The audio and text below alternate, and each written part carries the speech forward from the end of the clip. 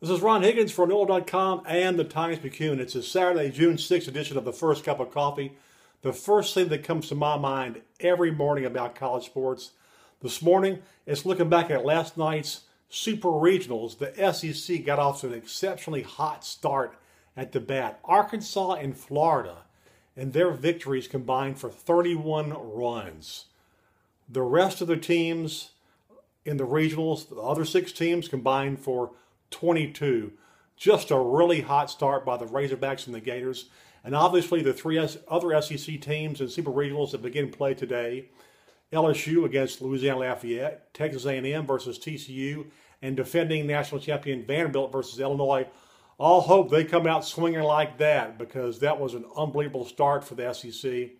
And it kind of really made you think that this league might get five teams in the College World Series that starts a week from today, and that very well could happen. You know, the SEC success in the College World Series is well documented.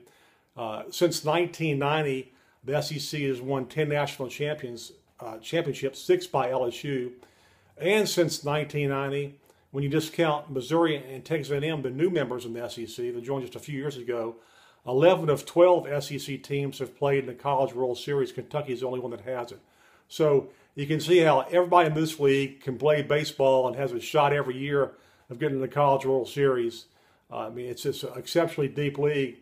And if the you know the baseball teams in this league, if all if five do get to the College World Series, it'll just match the women, which put five in the college women's College World Series. There was one by Florida for the second straight year, with LSU and Auburn losing in the semifinals. So the the baseball and softball talent level in the SEC is just incredibly deep. It's fun to watch every year at this time of year, and particularly here in Baton Rouge, where you know Tiger fans kind of expect to be in this position every year. This team this year is really really good. It's going to be a great series with Louisiana Lafayette. The weather's supposed to be good. No rain this week, so it'll be a packed house, a good national TV audience, and we'll see how it plays out. This is Ron Higgins. For NOLA.com and Times Picayune, that's the first cup of coffee. We'll see you.